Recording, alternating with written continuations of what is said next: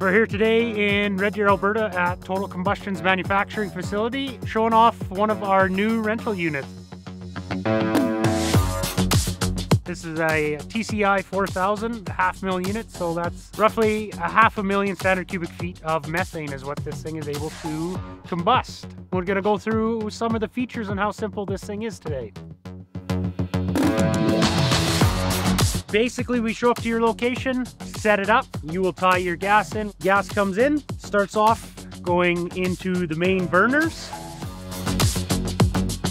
The nice thing about TCI stack design is every single gap inside the stack draws in air naturally. There's no fans, there's no blowers, there's no electricity needed for this unit to combust gas at 99.9%. One of the key features on how this works is the individual burners themselves.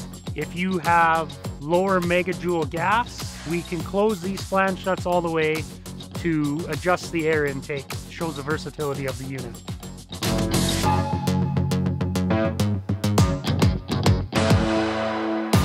So we mount our incinerators on trailers just for ease of operation and getting them to your location. It's simple, we show up to location and this thing is standing and operational within an hour. It is self-erecting with its own hydraulic power system that runs off of 12 volt power. So anybody's truck battery can lower and raise this